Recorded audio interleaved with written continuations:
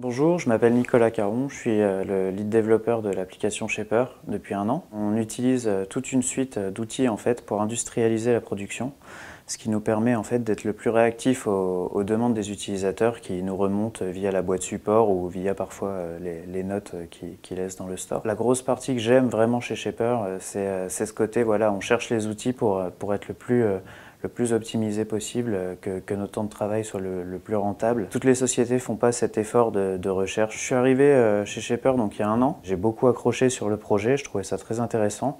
Je trouvais que l'approche était vraiment, était vraiment sympa et, les outils déjà à l'époque utilisés euh, m'intéressaient beaucoup. C'est la première fois que je suis dans une structure aussi petite ce qui nous permet aussi de, entre guillemets, établir nos règles. Et c'est quelque chose qui, moi, personnellement, m'intéresse beaucoup.